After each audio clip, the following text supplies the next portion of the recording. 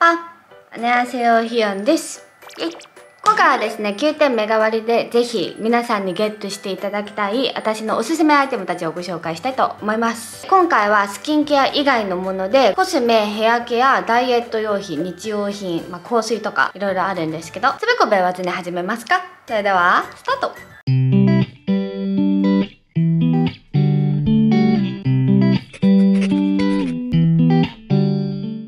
ア以外のアイテムを全部で10個集めてみたので気になる方がいたらぜひチェックしていただきたいです。コスメから紹介していきたいと思います。今日も使ってるアイテムなんですけど1つ目はこちらです。ウェイクメイクのソフトブラーリングアイパレット。14番15番。ウェイクメイクのアイパレットは以前も紹介したことがあって私も大好きなアイテムなんですけど今回1月に新しくこの2色が追加されたということで紹介させていただきたいと思います。私が今日使ってるのは14番のキャラメルブラーリングっていうカラーなんですけど温かみのあるカラーになっております。パッと見てイエベ系の色ですね。ブラウンシュガーホワイトソルトバタークリームイエロービーンベージュニュートラル。ラテサンドクリームスクエアデイリーソルティッドキャラメルウッドクラフトチョコレートノットっていうカラー割りになっております。かわいい。こっちの15番のボンダークブラーリングっていうカラーはパープル系が入ったちょっとクールめな印象になるかなって思うカラー展開になっております。ペイルプラムアイシーピンク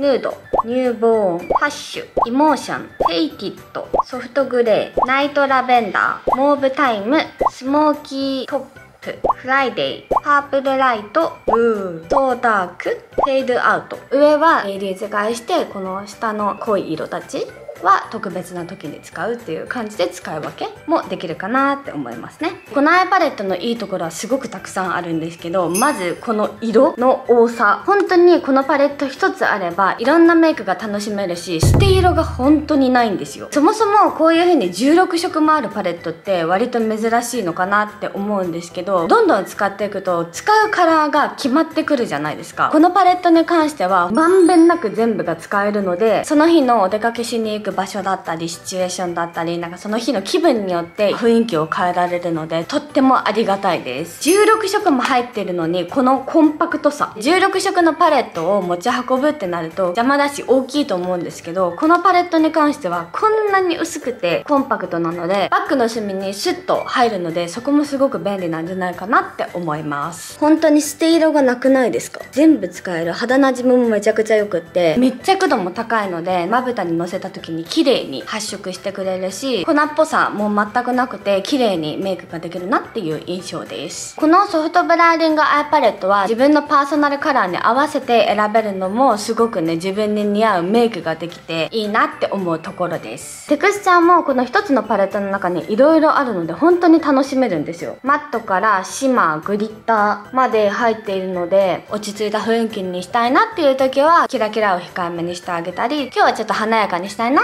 って思ったらグリッター使ったりっていう感じです本当に色々な使い方ができるので一つ持っておくとすごく便利だと思います。今日私はこのカラーをアイホール全体に塗ってこっちを、えー、と二重幅と下まぶたの目尻目頭にも塗りちょっとこの境目があまりわからないようにこっちの色を二重のラインぐらいにのせてこっちの色を上まぶたの全体にのせこちらの色を下まぶたの目頭とこの先に塗ってちょっと華やかさを出したっていう感じです。落ち着きながらも華やかさはあるっていう感じの目元にしてみました。よくない？特に私が好きな色はここら辺ですかね。この2つすごく使いやすくて。この単色だけで仕上げても可愛いなって思います。韓国のオリーブヤングでメイクアップ部門1位のアイパレットですごくね韓国の方にも人気なアイテムなのでまだ使ったことがないよっていう方はチェックしてみていただきたいです。次続きましてこちら。ウェイクメイクのウォーターグローコーティングクッション。このクッション今日も使ってるんですけどとにかく薄付きで肌がめちゃくちゃ綺麗に見える。最初塗った時に本当にえ薄って思ったのが結構印象的だった。私は21番のバニラを使ってるんですけど SPF50PA4 プラス入ってるので日焼け止め効果もしっかりあるっていう感じのクッションです。面白いのがクッションの部分なんですけどなんとスポンジとメッシュの二重構造になってるんですね。中にクッションがあって上にメッシュがかかってるっていう感じなんですけどクッションだけだと液がすごい漏れちゃってたりここからファンデーションが出ちゃったりするのあるじゃないですか。パフにつけた時にすごいたくさんついちゃうとか。二重構造になってることによってそういうのを防止できるみたいです。パフでつけてお肌に塗る時もすごくねムラなく塗れるのでそういうところも進化してるなっていう風に思いました。塗るとちょっとねヒヤッとするんですよ。それも面白くくてヒヤッとするので肌への塗りもすごくよくって結構重ねて塗っても厚みが本当に出ないから失敗することがないなっていう風に思いました。厚塗り感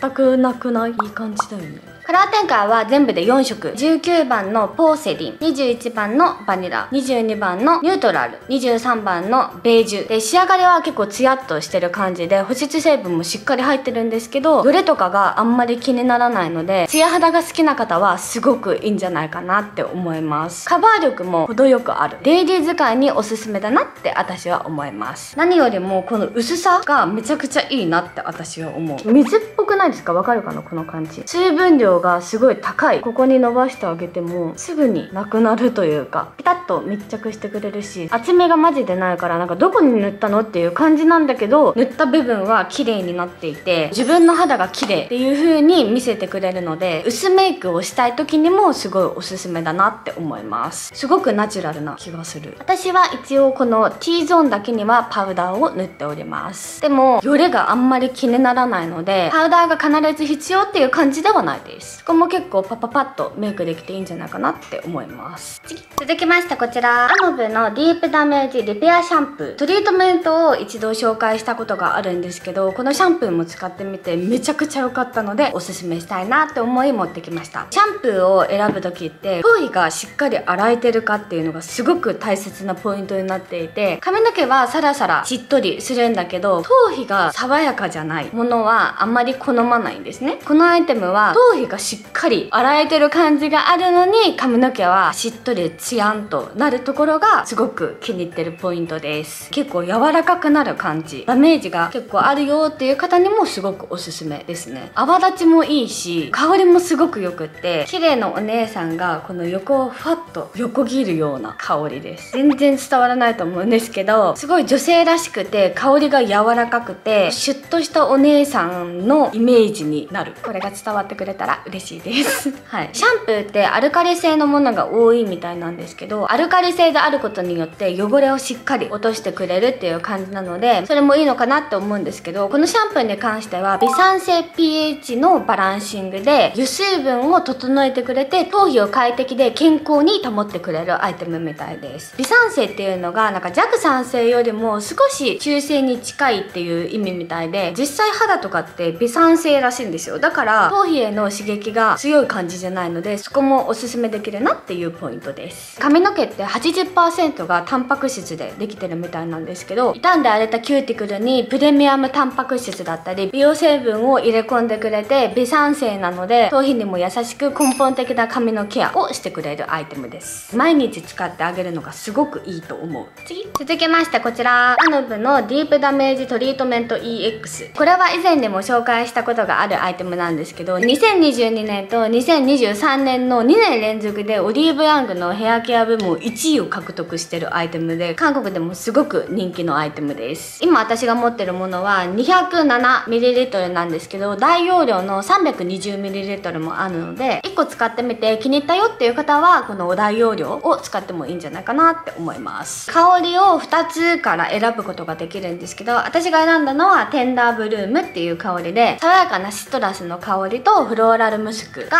合わさったものを選んでおります。もう一つはウォームペタルっていう香りでそっちはねちょっと嗅いだことがないんですけど私はテンダーブルームを選んでおります。使い方としては、まあ、シャンプーの後ちょっと水気を切ってから髪の毛をマッサージするみたいに塗ってあげたらいいんですけどより強力にあのケアをしたい方は1分から3分ぐらい置いてから流してあげるといいみたいです。私はだいたいいつもあのシャンプーした後トリートメントしてゴムで結んでから体を洗って洗い流してるのででいつも強力なケアをしてるっていう感じ。パーマだったりカラーリングだったり熱で傷んでしまったキューティクルをケアしてくれるっていう感じでタンパク質アミノ酸が31種類と植物由来オイルが5種類も配合されていて本当に傷んだ髪にすっごくおすすめっていう感じ。私はまあ今もそうなんですけどずっとカラーを続けてるしやっぱりヘアアイロンとかも日常的に使ったりするのでそういう方ちょっと試してみるのいいんじゃないかなって思います。仕上がりがさらっとツヤっとシャンプーもそうなんですけど髪の毛が柔らかくなってくれるので傷んでる髪にはすごくいいんじゃないかなって思います。次。続きましてこちら。エルゴボディトゥムセルフィニッシャー。すごくない？オールインワンボディホームケア機器。これすっごい簡単に使えるマッサージ機器っていう感じになります。使い方がとにかくめちゃくちゃ簡単でここにボタンがあるんですけど押してあげたら動く。でここに強さの調整ができてこんな感じで6段階の強さを選べるっていう感じですね。またこっちの電源ボタンを押すと5段階のマッサージ振動バージョンがあるっていう感じです。このアイテム凝りとかのケアだけじゃなくて贅肉のケアとかもできてダイエットしてる方にもすごくおすすめなアイテムになっています。私やっぱ産後太っちゃってから体型を戻そうと頑張ってるんですけどやっぱ自分の力だけじゃ難しいところがありこういう機器の力を借りながら今頑張ってるところなんですけどヘッドが8種類あるんですよ。取り付け方もすっごく簡単でパカッと取ってもらうと違うヘッドを装着できるんですね。でまたこのカバーをかければあっという間に違うタイプのマッサージができるっていう感じ。めちゃくちゃ簡単じゃない？こういう機器を使う時なんかやり方が難しいととにかくなんかめんどくさいっていう風になっちゃうんですけどこれはこの取り付け方とか使い方も本当に当てるだけ？なのでそういうところが簡単でめんどくさがりな私にもすごくありがたいアイテムです。でヘッドが全部で8種類あるんですけどソフトヘッドとハードヘッドっていうのがあってまずソフトヘッド。これがベーシック。肩とかに使うといいみたい。これがウェーブ。脇とかに使うとといいらしいフラワー、日鏡、あの、膝の裏とかに使ってあげるとよくて、サークル、鼠径部とかに使うといいみたいです。次からハードヘッドになるんですけど、こちら、ピンチって言って、太ももの内側から外側まで。ボールっていうのはお腹の贅肉とか、フィンガー、二の腕とか、ふくらはぎとかにおすすめ。もう一つ、こちらがソールって言って、あの、角質専用ヘッド。かかとの角質除去。ちょっとザラザラしてる感じ。マッサージから贅肉のケア、プラス角質ケアまでこの一つでできるのがめちゃくちゃいいなって思いこれぜひ紹介したいなって思ったアイテムなんですけど肌の中に詰まったリンパ系ってハードな圧迫よりもソフトなマッサージの方が効果的みたいで優しく円を描くように使ってあげるのがポイントです。低速と高速があるので低速バージョンは贅肉とかリンパケアにおすすめで高速はコリのケアにおすすめっていう感じですね。このヘッドはここ。このヘッドはここみたいな感じに書いてあるんですけど好みあると思うから自分でいろいろ使ってみながら使い方を楽しむのもいいんじゃないかなって思います。私が好きなのはウェーブ肩これましたってなってやっぱこういう風にやるのとこの機械でやるのじゃパワーが全然違ってすごく気持ちくこれも軽減されるのですっごいねありがたいアイテムです。デスクワークとかしてる方にもすごいいいんじゃないかなって思う。充電もここに挿すだけなんですよね。特別な装置とかもいらないのでとっても手軽に使えるアイテムだなって思います。韓国であの2023年の4月に発売されたみたいなんですけどもう5万個完売してるらしい。それぐらい大人気のアイテムで実際のマッサージ店で使われてる機器と同じ原理っていうことで評判のアイテムみたいです。すごくない？それがさ9点の目代わりでお得にゲットできるっていうことなのでもうねぜひぜひぜひチェックしていただきたいんですけど1秒間に57回回転するヘッドでそういう贅肉とか彫りとかををケアしてくれるみたいなので自分の手でやるのとは全然違うのでこういう機械一つ持ってるとすごく便利なんじゃないかなって思う。めっちゃ良い。手軽っていうのがとっても好き私は。ヘッドもさすごい小さいので重ねて置いとけば全然邪魔にならない。そこも結構次。続きましてこちら。エルゴボディのシェイピーコア腹部ケアと姿勢矯正ができるアイテムです。韓国の理学療法士の間ですごくね評判のアイテムみたいで2023年の7月に発売されたみたいなんですけどそこから10万個売り上げているアイテムみたいです。私も出産してから骨盤のズレだったりちょっと姿勢とかが悪かったりするんですけどそういうのをこのアイテムで矯正しようと思ってゲットしたものですね。このアイテムで腰だったり首だったり太ももだったりいろんなところを刺激して筋肉のこりをほぐしてリフレッシュできるっていうアイテムなんですけどサイズもすごくコンパクトなのでいつでもどこでも使えるっていうのも結構おすすめなポイントです。いろんな使い方があるんですけど腸腰筋っていうのをすごいほぐすといいみたいで腸腰筋っていうのが何なのかというと大腰筋小腰筋腸骨筋っていうのを全部で合わせて腸腰筋って言って上半身と下半身をつなぐ骨格筋で体の重心を取ってくれるコア筋肉みたいなんですよね。ここが衰えてしまうと姿勢を維持する力が弱くなって腰痛とかにもつながってしまうみたいです。なので腸腰筋をほぐしてあげるっていうのがすごく大切みたいなんですけど結構ね痛い。徐々に徐々に慣れていくのがいいと思います。多分痛いってことはやっぱり凝ってるっていうことだから私も最初は痛かったんですけどどんどんどんどんやるうちに慣れてきたりしっかりほぐして姿勢良くしたいっていう風になるのでどんどんどんどん使うっていうのがおすすめです。TP コアを使ってあげると骨盤が前に斜めにいっちゃうっていうのとかストレートネックだったり骨盤の歪みとかも改善できるので時間がない方とかにもすごいおすすめだし毎日のケアとして使えるので私も今やっぱお家にいること多いしどっかに行ってマッサージ受けるっていう時間もあんまりないのでこういうアイテムに頼って体のケアを頑張ろうって思ってます。私のおすすめ的にはやっぱ首とかもすごい気持ちいいしあと太もも前太ももとかに使ってあげるのもちょっと痛かったりもするんですけどすごい気持ちよくてリフレッシュできておすすめです。次続きましてこちら UC モールのホワイトニング美白歯磨き粉。このパッケージがめちゃくちゃ可愛いんですけどこのアイテムは透明で明るい歯のケアに特化したアイテムになります。口臭ケアにもいいみたい。韓国で口コミが広がってすごい多くの方に好評いただいてて最近バズってるアイテムみたいなんですけど UC モールがどこのブランドなのかというともともと1898年にイギリスで誕生した国民が愛用しているブランドの歯磨き粉になるみたいです。韓国では2021年にローンチを始めて口コミで広がってから発売からブランド基準900万個の発売を記録してるっていうぐらいめちゃくちゃ人気のアイテムです。オリーブヤングでは2023年の1月歯磨き粉カテゴリーで1位を獲得していてレビューも1000件以上あってすごいリピーターも急上昇中のアイテム。これねあの中身が面白いんですけどピンクなんですよねこんな感じで。ピンク色だからえ？なんかすごいって思ったんですけど歯磨きするとすっごい口の中が爽やかになって磨き終わった後も口の中すごい爽やかだし歯もツルツルになってすごい使用感いい感じです。韓国の食品医薬品安全所で初めて過酸化水素を含有しない臨床試験済みの新概念歯磨き粉。いろいろ言葉が難しいんですけど新概念歯磨き粉らしいです。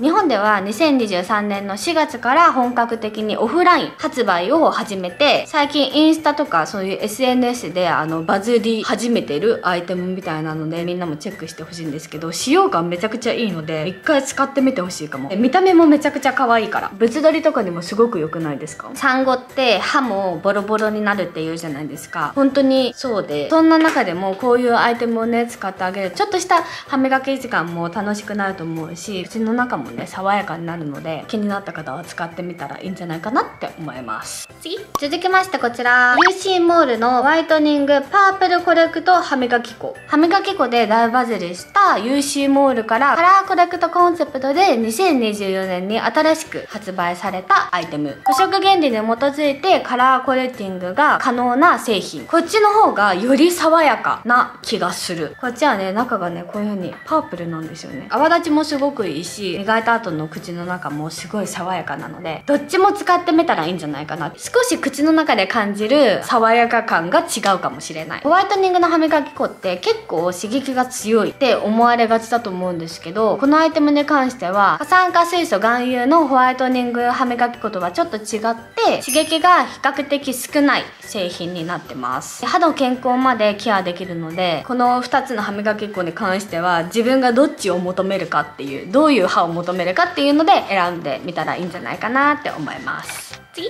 続きましてこちら。ルアペオードパフュームホワイトアプリコット。見た目もめちゃくちゃ可愛くて結構韓国っていう感じのイメージがあるんですけどこれは本当に香りが女性らしくって男性に好まれる女性の香りっていうことで口コミが広がって9点の香水カテゴリーでデイリーランキング1位を記録したアイテムみたいです。ただの甘い桃っていうよりはアプリコットと柔らかいムスクの香りが合わさって爽やかな清涼感も与えつつ女性らしくて柔らかい香りがする香水です。シュッとちょんちょんちょんうんこんなに女性らしくて柔らかい香りなのに爽やかな香りもするのがすごくいいというかなんか魅力的な香りだなって私は思います。多くの方が好きだなって思う香りだと思います。3月1日発売のルアペ企画セット付き商品。企画セットの構成品であるシールが付いてるんですけどそのシールを貼ってなんかデコレーションもできるみたいです。最近全てにおいてデコレーションですよね。自分だけのオリジナルボトルにしてあげるのもすごく可愛いと思います。香りの構成がトップがスタートはオレンジの爽やかさ。でミドルが桃と優雅なバラの香りが香りをより甘くしてベースはムスクとジャスミンが柔らかい肌の匂いっていう感じで香りの構成がなってるんですけど16%の高い原料割合を持つ高等級のオードパフュームで香りがね6時間から8時間ぐらい継続してくれるっていうアイテムです。最初につけた時とやっぱまたちょっと時間が経ってからの香りが少し違ってくるのでそのね香りの違いも楽しめたらいいんじゃないかなって思います。このアイテム単体で使うのもおすすめなんですけどちょっとこの後に紹介するソリッドパフュームとレイヤードして使うっていうのもおすすめ。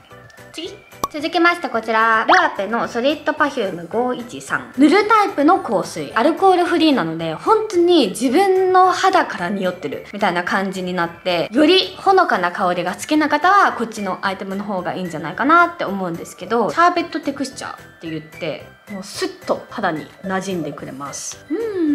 本当に女性らしくって甘さもあるんだけどジャスミンのエレガントさも加わった本当大人の女性っていう感じの香り。このアイテムも3月1日発売の企画セット付き商品の一つですね。使い方としてはこの手首はもちろんなんですけどあと首とかに塗ってあげてもほのかに香って好きな人とギューした時とか香りがふわっとしていいんじゃないかなって思います。もっとちょっとほんのりさせたいっていう人はお腹だったりくるぶしに塗ってもいいっていう感じですよね。自分がどのぐらい香りたいかっていう感じでつけるところは選んだらいいのかなって思うんですけど香りの構成がトップノートはオレンジとリーフ。ミドルノートが桃とローズ。ベースノートはジャスミンとムスクになります。アルコールフリーっていうところと実際に自分の肌に塗ることによって自分の肌の香りと合わさってすごい自然全然人為的じゃなくて生まれてからこの方この香りでやってますみたいな 感じの香りになるのでそういうほのかなふんわりした香りを放ちたいっていう方にはすごくおすすめなんじゃないかなって思います。ボンボンがいるのであんまり香水とかはつけれないんですけどアルコールフリーのこのアイテムをほんと少量とかなら自分的のリフレッシュというかリラックスもできると思うのでそういう使い方もいいんじゃないかなって思います。ボンボンの肌が触れないところにつけるかなって感じ私だったら。で続きましてさっきちらっと言ったんですけど日替わり限定のルアペ企画セットがありましてルアペベストコレクションギフトセットの紹介です。中に入ってるアイテムがオードパフュームのホワイトアプリコットソリッドパフューム513この2つのアイテムに関してはルアペの公式ショップで1位と2位のアイテムになるんですけどそこにプラス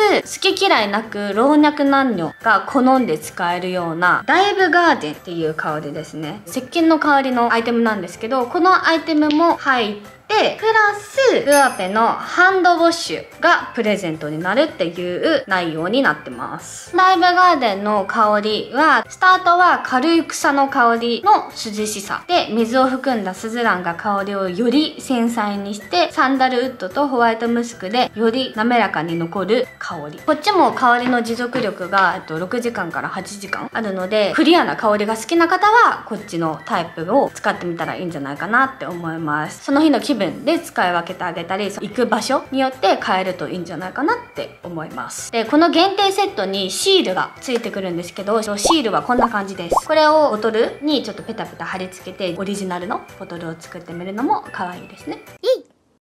はいって感じで今回は9点目代わりでぜひ皆さんにゲットしていただきたい私のおすすめアイテムたちをご紹介させていただいたんですけどいかがでしたか？いろんなバリエーションがあったんですけどみんなのお買い物の参考にしていただけたら嬉しいです。いつも通りあのアイテムたちの詳細は概要欄の方に書いておくのでそちらをチェックしてみてください。目代わりについては3月1日から始まるのでちょっと早めにチェックしていただけると嬉しいです。って感じでこの動画が楽しかったりまた私のおすすめアイテム知りたいなって思ってくれた方はぜひいいねとチャンネル登録登録をお願いします。그안녕